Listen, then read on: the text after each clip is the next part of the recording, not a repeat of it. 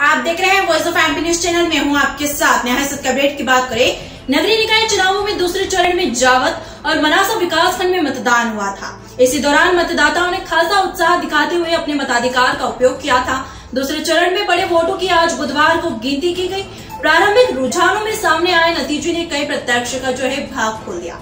नगर परिषद 18 में विजय प्रत्यक्ष की सूची देखे तो वार्ड नंबर एक में मंजूबाई राधेश्याम धाकर जो कि बीजेपी से हैं, जो विजय हुई हैं। वार्ड नंबर दो में बात करें तो भैरूलाल भील आम आदमी पार्टी से है, जो कि यहाँ दिखाई दे रहा है कि आम आदमी पार्टी का खाता खुलता हो।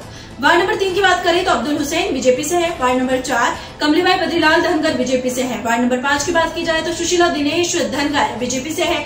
वार्ड नंबर छह में बात करें तो पूजा प्रकाश सिंह चौहान बीजेपी से है।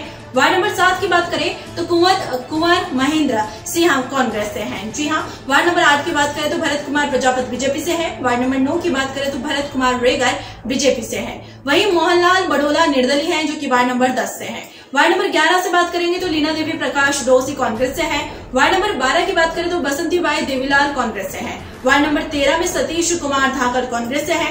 वहीं वार्ड नंबर 14 में रिंका सचिन जैन बीजेपी से विजय हुई है। वही बात की जाए वार्ड नंबर 15 की तो ललिता रागेश विरागी विजय हुई है बीजेपी से है। तो ये तब तक अपडेट। लगातार जानकारी के लिए बने रहे वॉइस ऑफ़ एमपी के साथ। जय हिंद, जय भारत।